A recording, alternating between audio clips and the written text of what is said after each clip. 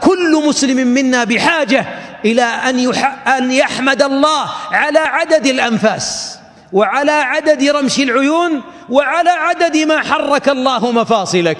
والله لو ما جاء أحد منكم الالتهاب اللي يأتي في أعصاب الرقبة هنا ما يقدر يلتفت. ما تستطيع والله أن تعيش تتعب. تريد تلتفت تلتفت بكامل جسمك. لو أن شوكة دخلت بين أظفرك ولحمك. ما أخبار حياتك؟ تنقلب حياتك كلها عذاب. شوكة يا ابن الحلال انسى وننساها. انقلبت حياتك ألم وحرارة وطبيب ويأخذها بمنقاشه. ما استطعت أن تتحمل شوكة. والله جل وعلا منذ أن خلقك يقلبك في النعم رجل مريض في مستشفى النقاهة في الرياض. مشلول شللا رباعيا.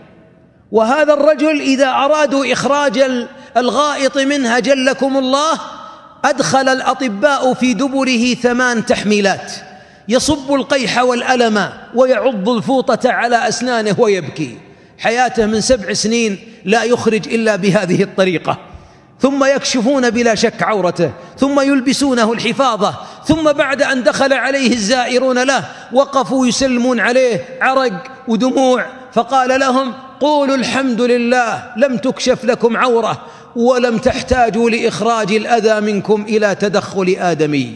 احمدوا الله أنا لي ثمان سنين وهم يشوفون عورتي ويلبسونني الحفاظة وتكشف عورتي. احمدوا الله والله إن أمنيتي التي أتمناها ثم بعد ذلك يقبضني ربي أن أضع جبهتي على الأرض لو مرة واحدة. يقول احمدوا الله اللي تسجدون. وتلمس هذه الجباه الأرض. كثروا من السجود أيها الأصحاء. هذه وصية معاق مشلول شلل رباعي أنت بحاجة إذا سجدت أن تحمد وإذا رفعت أن تحمد وإذا تنفست أن تحمد وإذا أضاء الله عينك أن تحمد كم تقدر نعمة البصر بكنوز الدنيا؟ لو قال أحد الناس أنا كفيف أريد عينيك وأعطيك صك كل ما أملك. مليار مليارين. أتبيع عينيك بكنوز الدنيا؟ لا والله. وبعضنا زعلان عشان سيارته مهي بجديدة وبعض الشباب زعلان لأنه ما لقى وظيفة. وبعض الأبناء زعلان عشان الوالد ما شرى له همبرجر أو ما غير الشنطة أو ما عطاه مصروف يريده أو ما غيروا جواله. ما زعل ما ننقل أبنائنا إلى من فقد النعمة. ونوديهم لمصحاتنا ليروا مرضى السرطانات.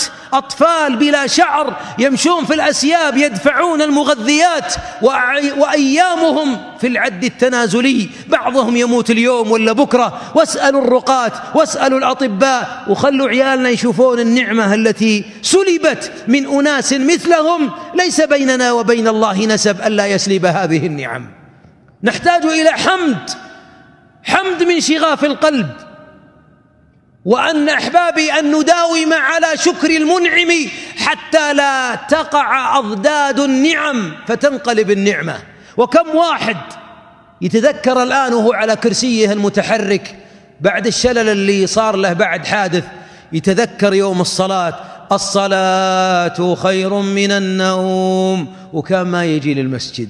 وكم واحد أحبابي كان غنيا فافتقر وإذا الفقير رآه تمنى لو عنده شيء يخفف عن الفقير لكن ماله راح. وكم واحد يتمنى أن يصوم الاثنين والخميس لكن الحبوب اللي معه كيسة مليانة والطبيب يقول له لا تصوم ما راحت عليه زمن شكر الله بالصيام في زمن القوة. حتى لا تحل أضداد النعم اليوم اليوم. عاهد الله ألا تترك ساعة ولا همسة ولا بل العابد التقي في نومه ذكر.